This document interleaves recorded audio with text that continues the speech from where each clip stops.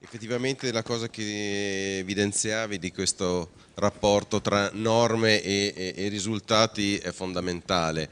E il nostro problema, credo, eh, in Italia in genere, non, non solo in Val d'Aosta, in tutto l'arco alpino, ma in genere nel nostro paese, è che le norme non sono fatte per costruire qualcosa, ma per evitare che qualcuno costruisca in modo eh, non adeguato e quindi con questa idea di cercare di eh, guidare un percorso e di arginare delle forze che vanno in direzioni incontrollabili eh, di fatto castriamo qualsiasi possibilità invece di eh, creare qualcosa di, di, di, di vero, di concreto e, e, noi tecnici ci dobbiamo misurare con delle cose astruse spesso che quindi sembra quasi fare una, una sorta di, di, di, di, esercizio matematico per riuscire a far incastrare tutte le, le, le, richieste, a rispondere correttamente a tutte le richieste che ci vengono poste.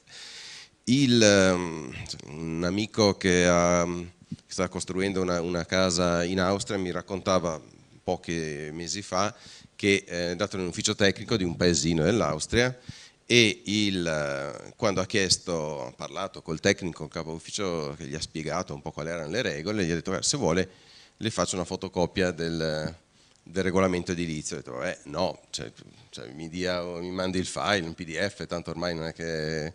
ma no, guardi, tanto è un foglio, quello appoggiato è un A4 e quello era il regolamento edilizio. Allora certo che se le norme tornano ad essere dei principi, no? dei principi essenziali e poi lasciamo anche giustamente alla responsabilità di eh, tecnici che progettano, di tecnici che valutano le, i progetti, la possibilità di eh, avere un, quel minimo anche di soggettività nella valutazione, nelle, nelle proposte, allora forse eh, percorriamo una strada giusta. E tra queste, eh, tra le proposte che, che così vi butto anche come, eh, o propongo anche come soluzione, cioè non tanto una soluzione ma come qualcosa che può anche aiutare, vedo che in, nelle nostre province Trento e Bolzano, eh, Bolzano ormai da 12 o 15 anni, a Trento da 3 anni, è stata istituita questa commissione dei saggi, dei saggi cosiddetta, quindi una commissione per la tutela, adesso ricordo, il nome esatto non me lo ricordo, però di fatto sì, per, per la tutela architettonica del paesaggio, valorizzazione, insomma qualcosa del genere, ma al di là del nome la sostanza è che è una commissione facoltativa e che dà solamente un parere che non è vincolante, a cui amministratori o anche singoli progettisti possono eh, fare riferimento per avere una valutazione del proprio progetto. Quindi spesso quando si tratta di progetti un po' particolari, un grande albergo, un edificio, un'infrastruttura, un edificio che ha un impatto che eh, anche le, le, singole commissioni edilizie fanno fatica poi a valutare e giudicare, ci si affida a questi tre saggi, che normalmente sono tre persone, ad esempio Armando Ruinelli è nella commissione di Bolzano, ci si affida a questi eh, soggetti che possono dare un parere e che soprattutto eh, accompagnano anche il progettista e il committente, perché è una cosa che viene fatta fin dall'inizio, cioè non si porta un progetto finito, ditemi che cosa ne pensate, ma eh, si inizia un percorso dicendo noi vorremmo fare un edificio in quell'area protetta particolare, oddio come lo affrontiamo, noi vorremmo fare così. E quindi questo percorso viene guidato questa è, tra l'altro, appunto, è un parere consuntivo, quindi una eventuale amministrazione pubblica, commissione edilizia può anche disattendere al parere che viene dato, però è sicuramente una, una, una cosa che rafforza, che aiuta un percorso e che eh, a volte anche eh, supporta eh, tecnici e amministratori che mh, possono anche giustamente sentirsi impreparati di fronte a certi temi. Prego. No, eh, io trovo questo aspetto hai, eh, a cui hai fatto riferimento estremamente interessante in questo, in questo ambito. No? Cioè, eh, il progettista, l'architetto, quando si eh, occupa, inizia a occupare di un progetto, secondo me, oltre che del confronto normativo, del confronto con i tecnici e soprattutto ovviamente con, con il committente, ha la necessità di un confronto diretto anche con eh, qualcuno di veramente esperto, perché non sempre l'intuizione che il singolo professionista ha è, la soluzione vincente. Questo pensate ai concorsi di architettura, per esempio, no? cioè, eh, con un concorso è possibile scegliere tra una moltitudine di, di progetti. Quindi eh, il mio ragionamento è in questo senso, no? se ho la possibilità, soprattutto per progetti articolati e complessi, di confrontarmi con un, un, gruppo di persone che mi possa dare un indirizzo e attraverso questo confronto nasce probabilmente, anzi quasi sicuramente, una soluzione migliore di quella che avevo individuato inizialmente, è una cosa dal mio punto di vista estremamente positiva. Sì, sempre a questo proposito eh, la necessità di avere delle, facciamo l'esempio appunto dei comuni che si devono associare, una commissione sovracomunale che gestisca l'ambito più vasto potrebbe già essere una eh, modalità per migliorare il rapporto tra amministratori e, e tecnici. Poi è sempre più evidente, sia da parte nostra, amministratori, che da parte del cittadino, di avere qualche, un qualche tipo di stanza a cui riferirsi quando ci sono delle situazioni di tensione. Mi spiego, la bocciatura di un progetto, sì, ci saranno le norme, ma la bocciatura di un progetto molte volte di una casa, poi appunto come intendiamo la casa nella nostra regione in Italia, cioè nelle altre regioni d'Europa la casa ha un, ha un, valore diverso di effettività, la maison come diciamo noi è anche un progetto di vita. E quindi la bocciatura di un progetto ha delle influenze che vanno al di là di eh, di tante cose, ma hanno, contemplano anche eh, delle, delle, ricadute psicologiche, non, vogliamo, non voglio esagerare, però dietro la casa ci sono dei sogni, magari dietro una finestra, un'apertura, vedere qualcosa, c'è un sogno cioè ho sempre visto quella montagna, mi piace vederla, non la puoi fare. Sì, e quindi la necessità di avere un'istanza a cui riferirsi per avere consultiva, mettiamola come vogliamo, cioè, ma che ci sia, ecco, il problema poi di fondo, lo dico da amministratore, è l'autorevolezza di questa commissione. Perché l'autorevolezza la capacità tecnica, la professionalità, eh, poi parlo a un, a un, uditorio che non ha bisogno di, eh, di specificare cos'è l'autorevolezza. L'autorevolezza tecnica e qui ovviamente noi amministratori, anche noi, quando si parla di autorevolezza dobbiamo capire che qualche volta si devono fare dei passi indietro a favore dell'autorevolezza. E mi fermo qui. Bene, questo dialogo che abbiamo già iniziato tra di noi lo possiamo allargare alla platea, quindi se, eh, così per rendere anche un po' più dinamica la cosa, avremo il tempo, una mezz'oretta circa, per qualche domanda. Eh, non so, magari inviterei Claudine se puoi magari venire anche tu qui. Armando Ruinelli purtroppo eh, aveva un impegno e quindi è appena partito.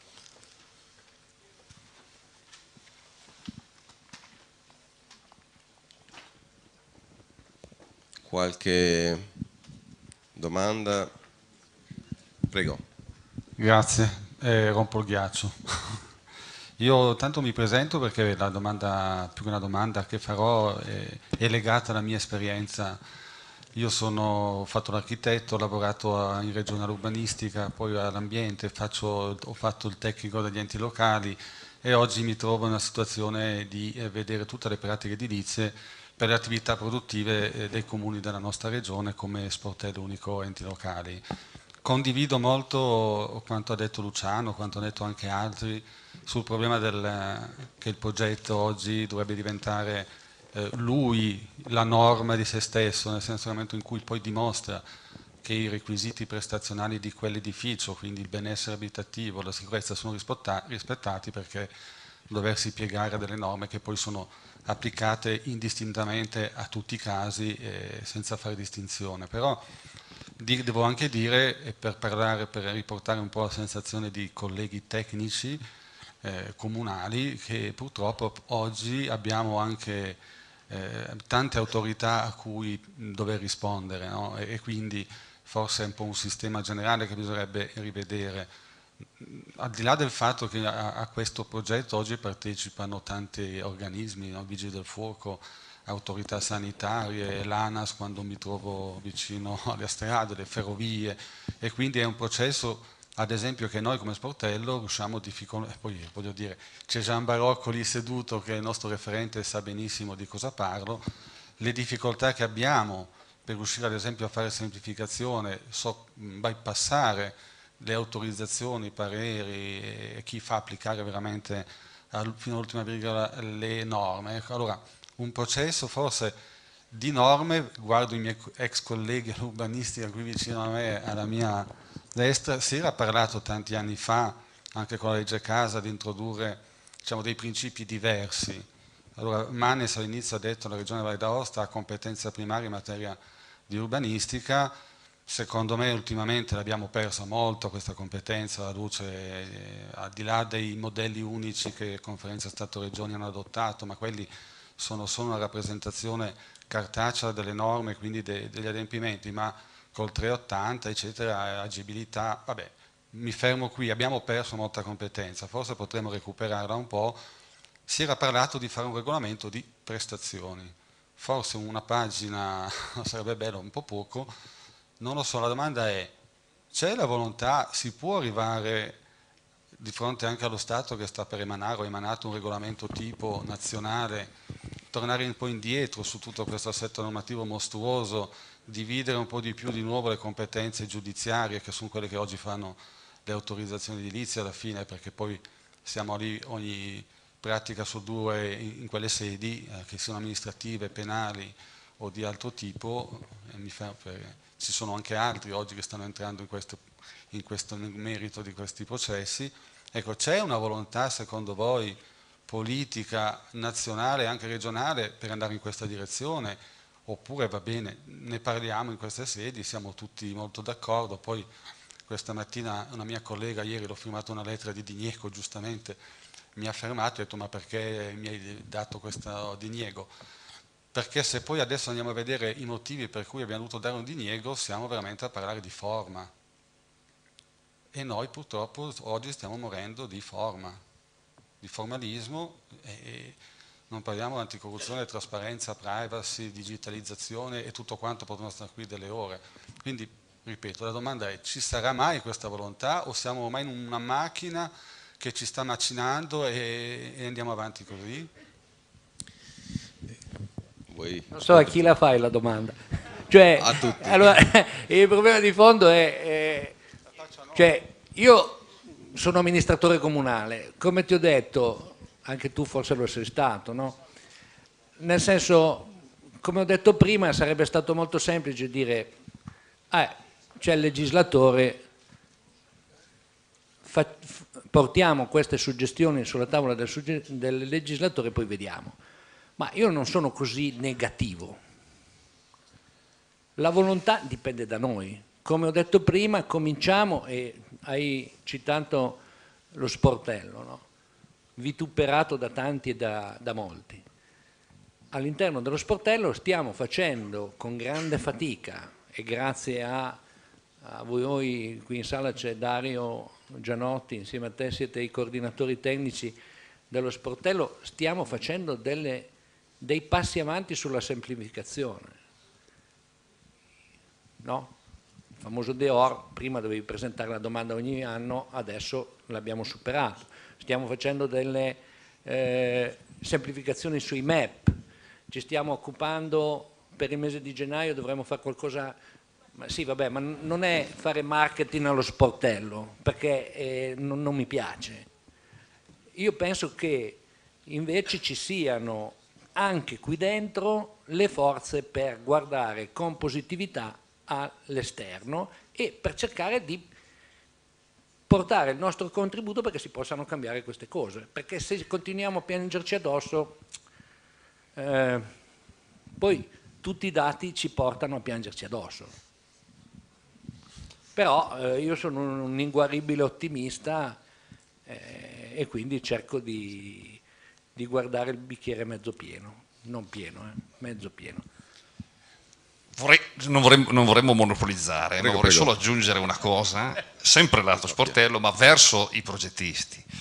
Ecco, si è parlato proprio di eh, ridare centralità al progetto. Ecco, mh, mm, si è parlato di eh, opera pubblica che è esemplificativa. Ecco, eh, un certo strumento eh, che è presente, attivo, ed è proprio, tra l'altro, eh, gestito interamente nell'ambito della sfera comunale, può essere rilanciato. Ecco, forse il coraggio di fare, ripensare a come vengono fatti i piani regolatori, introducendo eh, elementi progettuali lì dentro, perché anche dalla nostra esperienza diciamo, di chi controlla i progetti, eh, prima Luciano diceva, abbiamo bisogno di, di, confrontarci anche col soggetto che, eh, tra, tra, gli altri, eh, che abilita.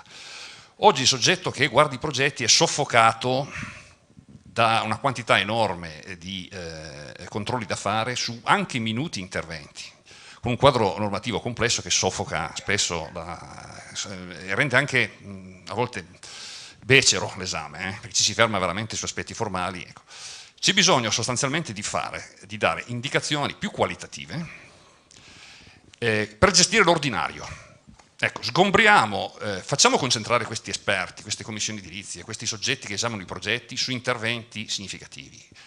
Diamo maggiore contenuto progettuale al piano regolatore e ai regolamenti edilizi, in modo che chi ha bisogno di gestire l'ordinario abbia indicazioni più semplici e, quelle, e quei processi da, dal lato macchina amministrativa vengono gestiti molto velocemente. Facciamo invece concentrare eh, eh, questi soggetti, lasciando qui più ampia libertà, brutalizzo, eh? io ti do delle indicazioni se vuoi fare una cosa ordinaria, falla così, me lo dichiari e vai. Vuoi uscire da questo? Eh? Vuoi, eh, hai delle soluzioni, vuoi progettare? Su questo ragioniamo, ma eh, sgombriamo l'attenzione sull'ordinario, eh, che va guidato e pilotato, eh, perché l'ordinario poi cambia il territorio, eh, ma se lo guidiamo a livello di strumenti di piano regolatore, non con le distanze, le altezze, il rispetto, ma con anche indicazioni di elementi qualitativi. Eh, abbiamo, un, anche stamattina abbiamo visto, un patrimonio di ricerca amplissimo, no? Di conoscenze del territorio. Portiamo questa conoscenza dentro eh, il piano regolatore, è, è una sfida, eh. diamo delle indicazioni più coraggiose, progettiamo il contesto urbano, in modo che chi ah, deve fare interventi semplici, quotidiani, trovi indicazioni chiare. Liberiamo la pubblica amministrazione eh, da questo controllo e facciamola concentrare sulle scelte coraggiose, su elementi di innovazione, dove lì c'è tempo e modo di ragionare di più su questi interventi. Luciano, rispondi tu?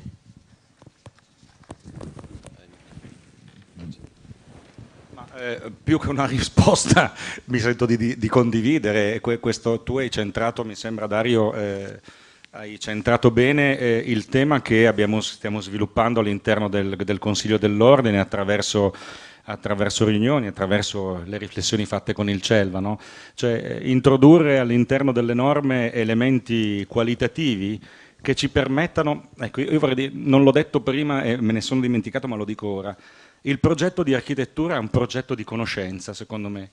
Quindi se, se, riusciamo a fare in modo che il progetto diventi realmente lo strumento attraverso il quale è possibile far conoscere alle persone, alla gente, la qualità complessiva è, di cui è, è portatore, probabilmente, probabilmente abbiamo, riusciamo a dare una risposta di miglioramento sicuro di, da, da, un punto di vista paesaggistico dell'inserimento e, e, e a seguire ehm, gli elementi qualitativi devono essere effettivamente definiti, ma significa modificare radicalmente la struttura dei nostri piani regolatori.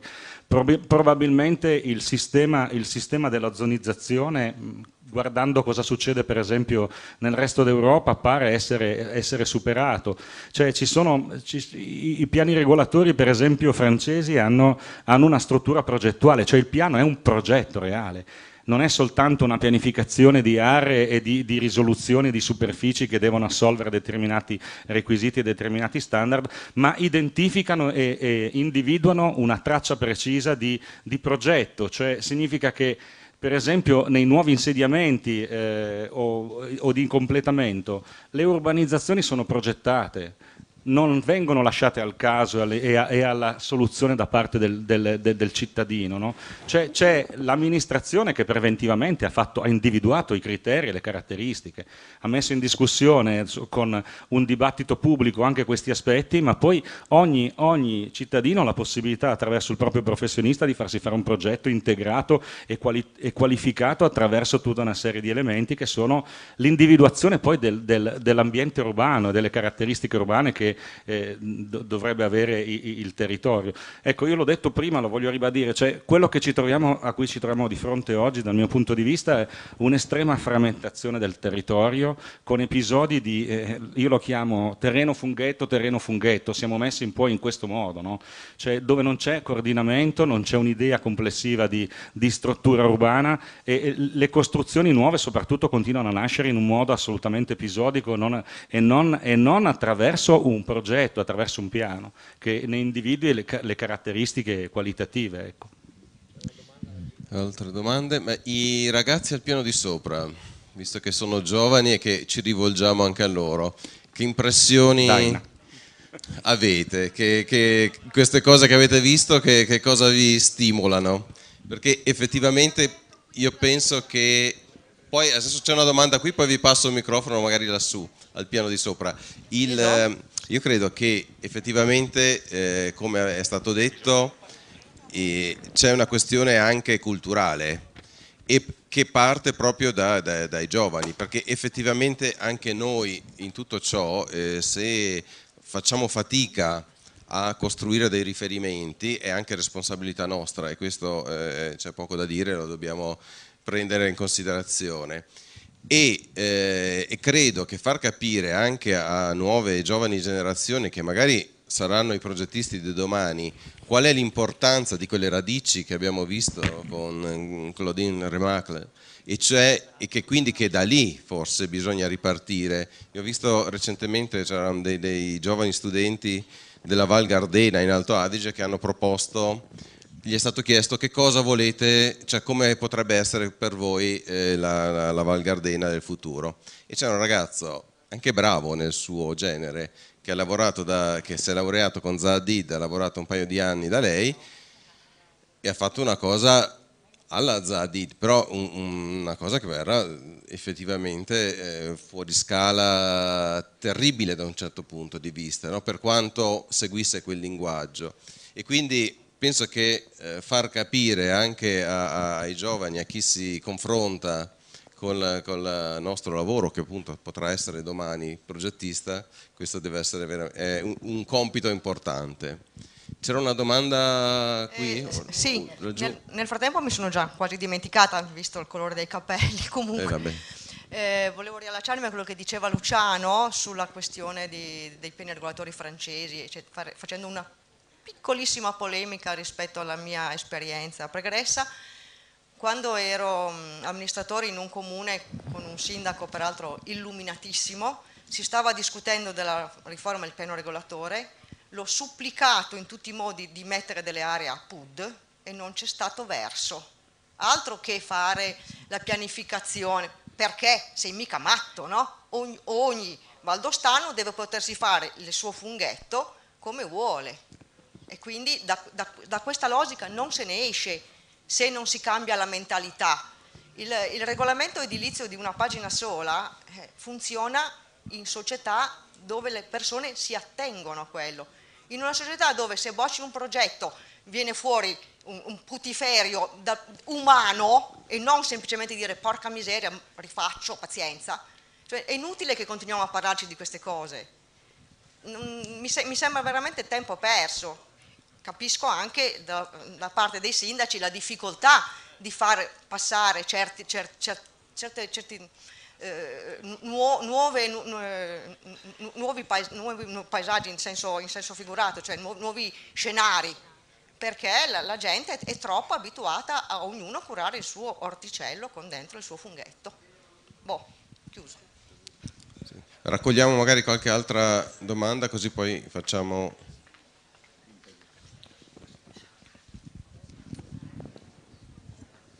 Buongiorno, per chi non mi vede io sono Chantal Treve, il dirigente dell'urbanistica e mi sento chiamata in causa ormai da troppo tempo per cui è bene che faccia un piccolo intervento.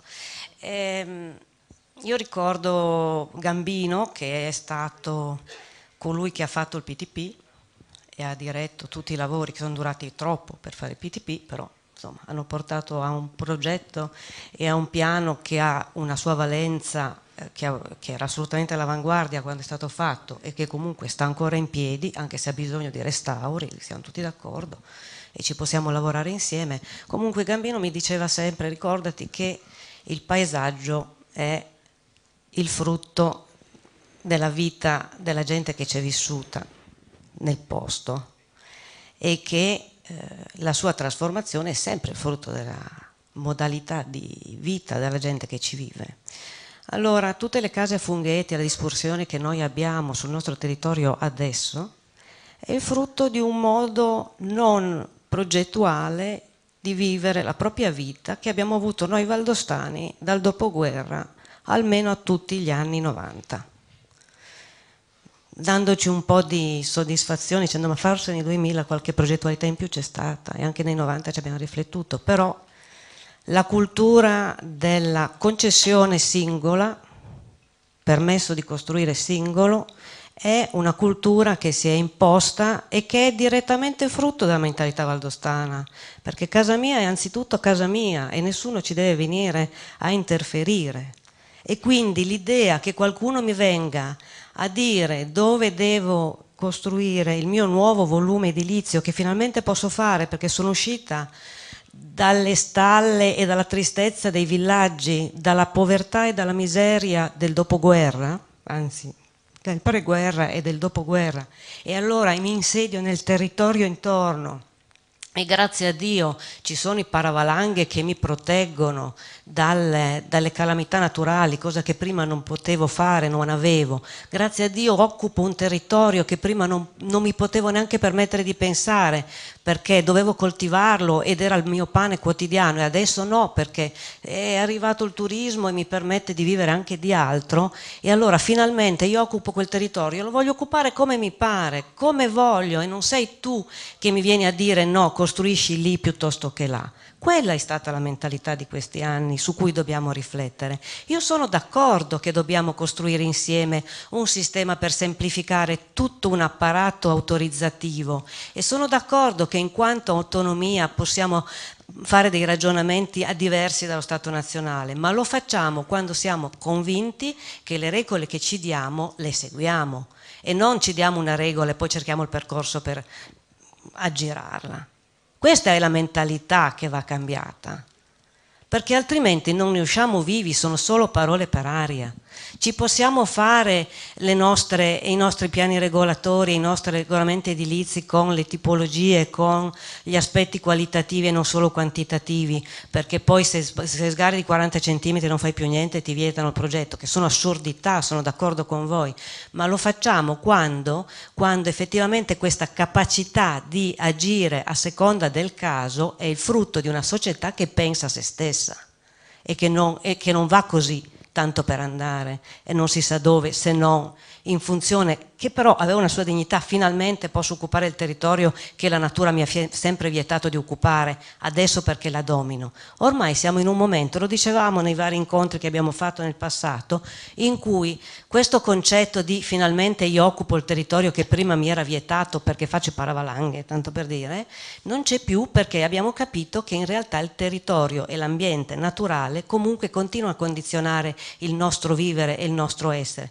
E non solo, ma capiamo perfettamente che il cibo non possiamo solo più prenderlo dall'esterno, ma dobbiamo tornare a considerare la nostra attività agricola come effettivamente utile anche al sostentamento locale questo vuol dire considerare il territorio non insediato in modo totalmente diverso, non è solo un prodotto turistico, il paesaggio, ma è anche un vivere, un, ci, un, un, una superficie, un, luogo che ci dà da vivere non solo in termini appunto eh, mercantilistici ma anche direttamente primari. Ecco, una volta che abbiamo capito questo, forse che abbiamo capito che col cambiamento climatico ci sono delle cose che non governiamo a livello locale, del nostro territorio, forse a quel punto possiamo cominciare a pensare a delle regole davvero condivise a cui tutti si attengono e che potrebbero essere magari molto molto più agili. Detto questo, mh, mm, voi conoscete il regolamento edilizio tipo nazionale, il regolamento edilizio tipo nazionale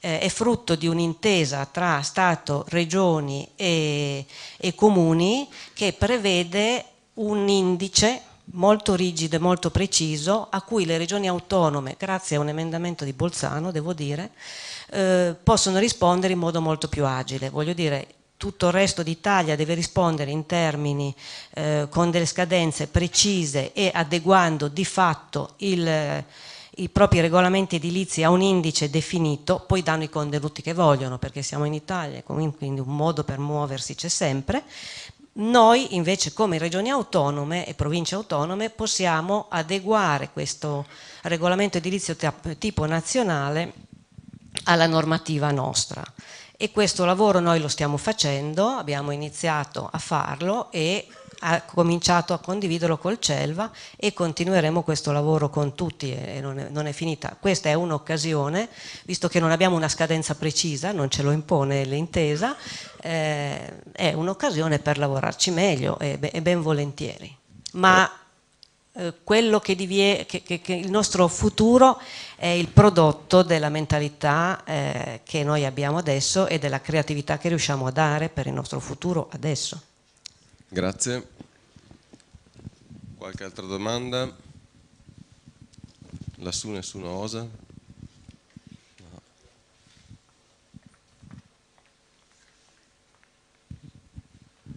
Allora, buongiorno, io mi chiamo Marco Maresca, faccio il progettista e sono anche amministratore comunale da qualche anno nel comune di San Vincent. Io volevo riallacciarmi un po' al discorso di Genotti, di Dario, no? perché ho sentito parlare di centralità del progetto e su questo sono indubbiamente d'accordo, del rapporto tra il progetto architettonico e i regolamenti e le norme tecniche e del rapporto tra il progetto e gli strumenti di pianificazione urbanistica. Secondo me c'è un po' di differenza, no? nel senso che eh, lo strumento di pianificazione urbanistica Mm, non so quanto determini la qualità del progetto, a mio avviso persegue altri obiettivi, cioè recupererà la sua funzione strumentale quando a monte avremo chiari degli indirizzi politici di sviluppo del territorio, quando avremo deciso che cosa vogliamo fare della Val d'Aosta in sede politica, cioè se saremo agricoltori, albergatori, industriali anche misura, allora faremo dei buoni strumenti di pianificazione urbanistica e quello è un piano. Dall'altra parte ci vedo il discorso delle norme tecniche, quindi dei regolamenti edilizi, di queste cose. Quelle cose lì le abbiamo fatte noi in gran parte, noi tecnici, noi siamo eh, amministratori, siamo amministratori regionali, siamo tecnici privati che scriviamo le norme, le vediamo in commissione edilizia, le abbiamo viste negli uffici regionali, no? quindi forse qualche responsabilità e qualche margine in quel senso ce l'abbiamo, no? probabilmente sull'aspetto tec tecnico della normativa basta che andiamo a cercare dentro, cerchiamo di capire se dentro c'è ancora un architetto da qualche parte e allora la soluzione viene da sola, se no la vedo un po' più difficile. Sull'idea che il piano regolatore possa contenere elementi qualitativi che possano indirizzare il progetto, io ho qualche perplessità, ma non per la qualità del piano, perché a mio avviso ha un'altra finalità e perché ha altri tempi. Cioè il comune di San Bensano non ha ancora adeguato il piano regolatore al PTP. Cioè in che modo posso sperare oggi che lì dentro ci siano degli indirizzi progettuali che si muovono ai ritmi del mondo, della società, del mondo vero? Cioè vanno su due binari, no? Quindi forse ecco, è un po' critico ma è un punto di vista diverso. Grazie. Altre domande? Vogliamo fare un... Cioè, aggiungo due riflessioni così poi facciamo una, un giro anche conclusivo, a meno che non ci sia qualche altra domanda ancora. E, effettivamente eh, il, cioè, ci, ci, troviamo in una situazione che giustamente, come diceva il collega, eh, ci siamo creati noi.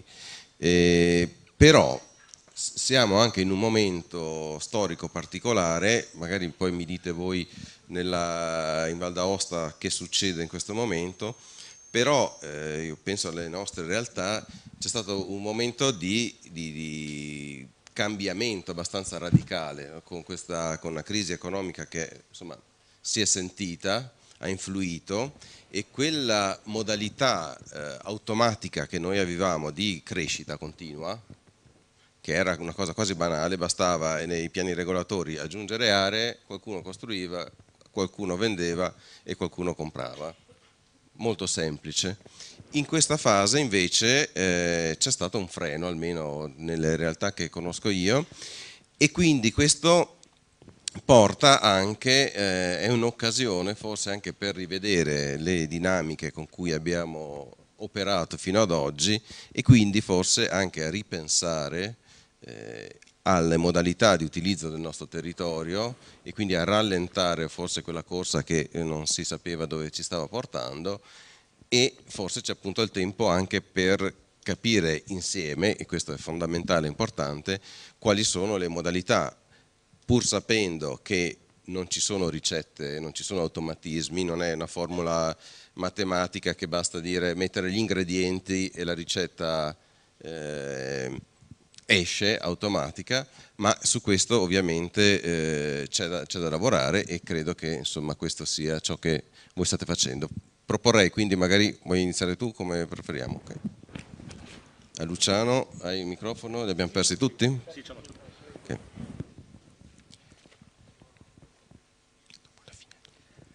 Eh, ma io partirei da questo concetto, dopo la tua sollecitazione, quella di Marco Maresca, che forse anche in parte condivisibile, condivido, ma ehm, un, uno dei temi forti che abbiamo sul campo è la rigenerazione.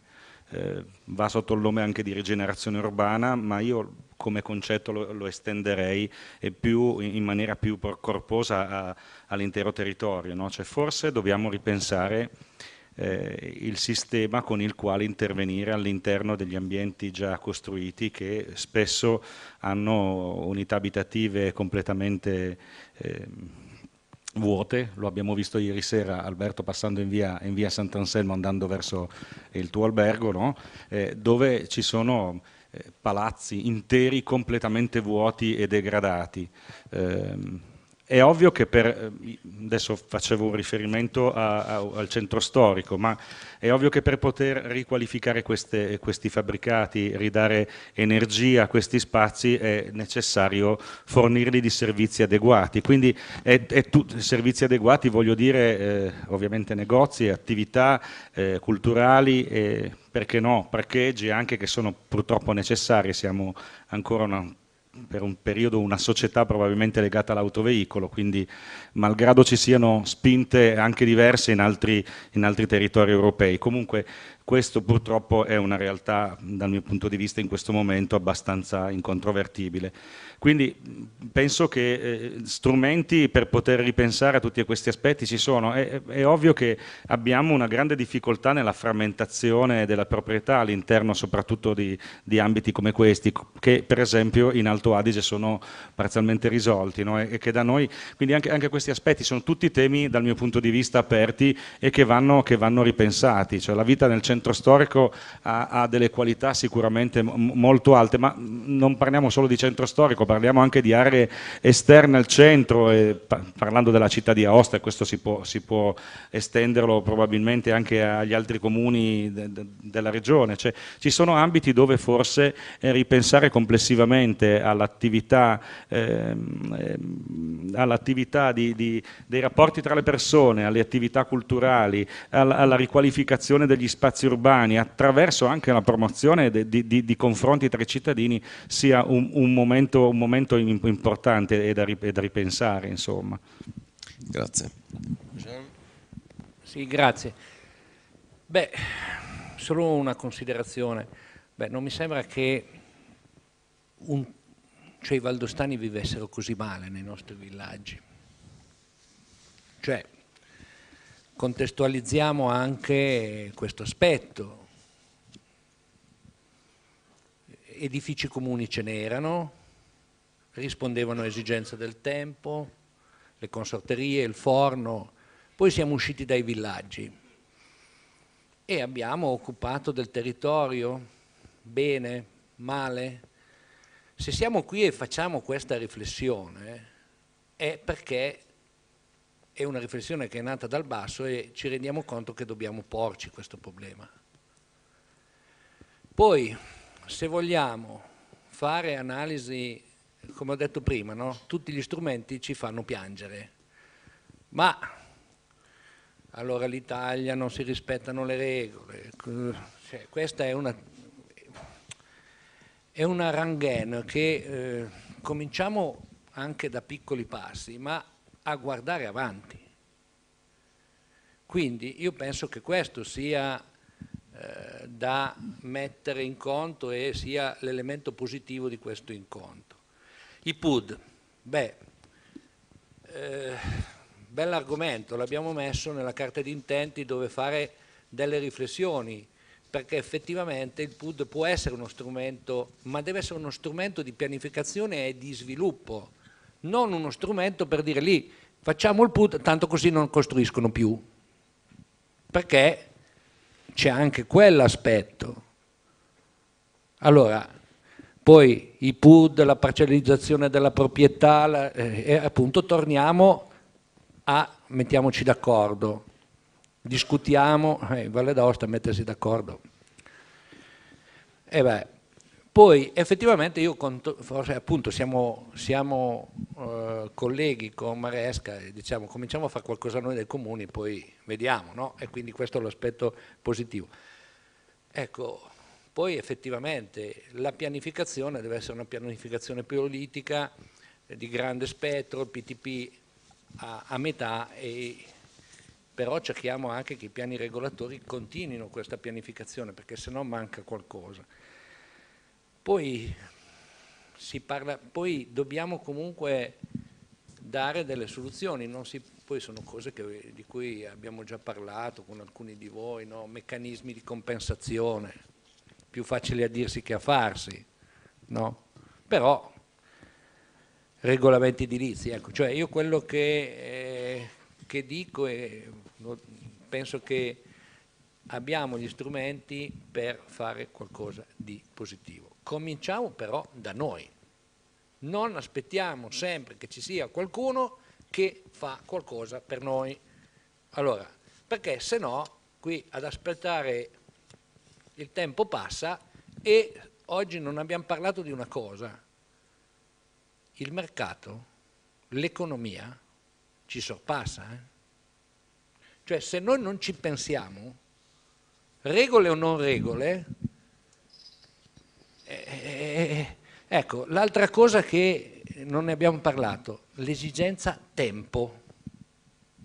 Il tempo è una risorsa scarsa, non infinita, cioè infinita sì, filosoficamente, per ognuno di noi è una risorsa scarsa e quindi anche la pianificazione deve essere inserita in questo contesto. Volevo chiedere a Claudine Remarque così, per, per chiudere ritornando alle origini, quale, in che modo insomma, questo patrimonio può essere ancora eh, insegnamento e come lo possiamo usare, se è una questione di misura, di equilibrio che delle cose che noi introduciamo. Io penso che eh, a me mi è stato insegnato in architettura che dove un uomo ha vissuto, un altro uomo può vivere e questo è una linea molto importante secondo me.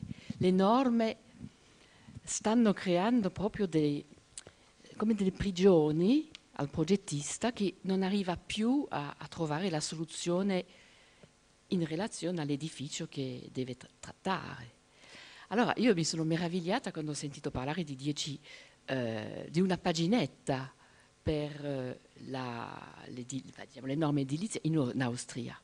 Qualcuno ha detto ma in d'Aosta è impossibile perché ciascuno egoista pensa solo a sé, alla sua particella, eh, sono maleducati in un certo modo, non, vi, non vivono la collettività. Però io penso che non dobbiamo assolutamente pensare così male di noi.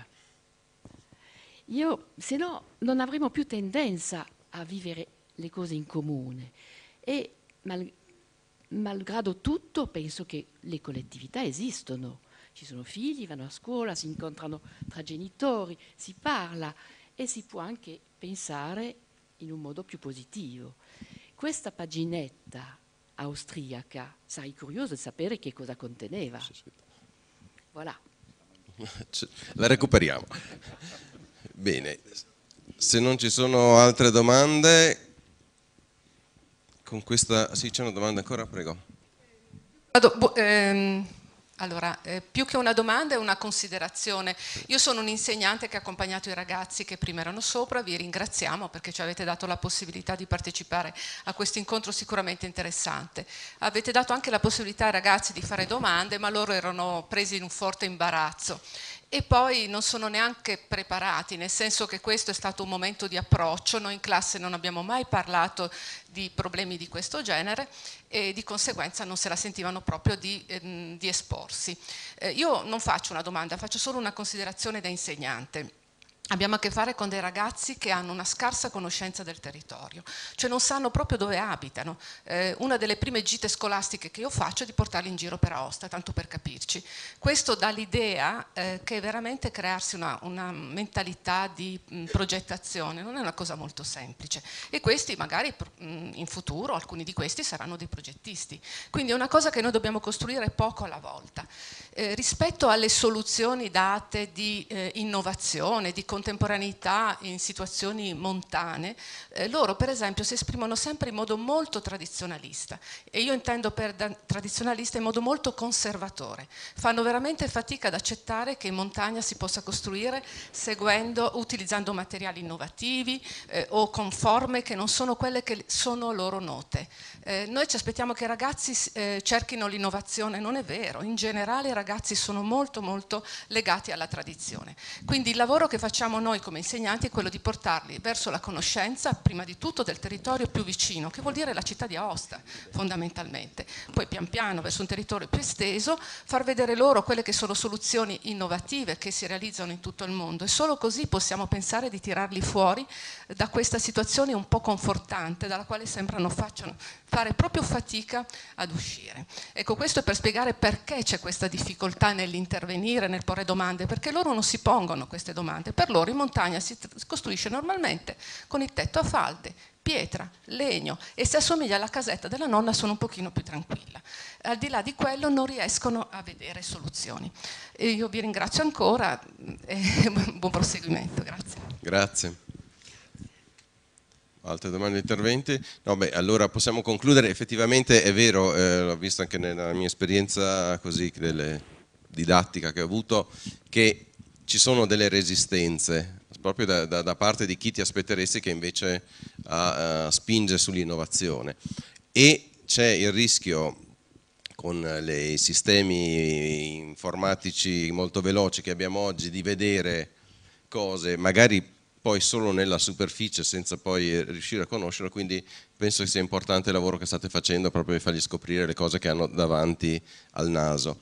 E cosa che eh, ritengo importante in tutto questo processo di, di tentativi di individuare una modalità per percorrere una strada che sia corretta, che possa portarci ad un ambiente migliore, ad un rapporto migliore con il nostro contesto, gli esempi che abbiamo visto e la promozione che cerchiamo di fare anche di questi esempi credo sia importante. La, I 22 progetti che vi ho fatto vedere della rassegna Architetti Arcolpino, ovviamente non li ho scelti io, li ha scelti una commissione, pur mantenendo mh, propria quella soggettività come ricordavi, che uno può dire questa, questa sedia mi piace o non mi piace, però ok, questo va bene, rimane nella tua soggettività di singola persona, però se c'è qualcuno autorevole, qualcuno che, o, più persone che dicono che questa è una sedia, cioè se è comoda me ne accorgo, ma se ha una sua qualità,